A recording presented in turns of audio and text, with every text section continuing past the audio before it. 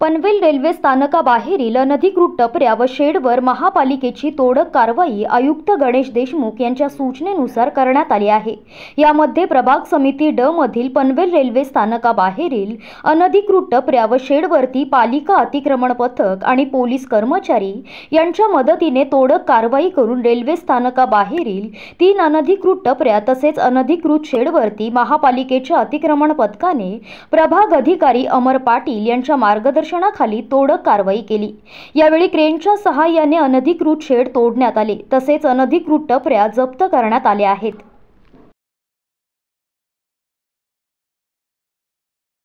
पनवेल आणि नवी मुंबईच्या ताज्या घडामोडींसाठी मल्हार टीव्ही न्यूज सबस्क्राईब करा आणि बेल आयकॉन दाबून रहा अपडेट.